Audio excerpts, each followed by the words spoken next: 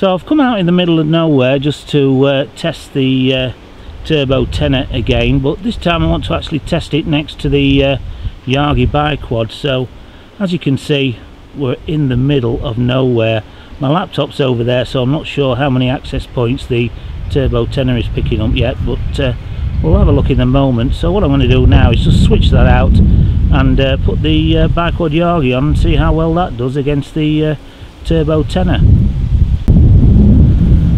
so second test then, this time with the uh, Yagi biquad and uh, I'm away from the laptop so I can't quite see in the sun how many access points it's uh, actually got. But when I was over there just switching it on it had six. So I think I can see it's got a few more. So just a quick little test at distance just to uh, compare the two.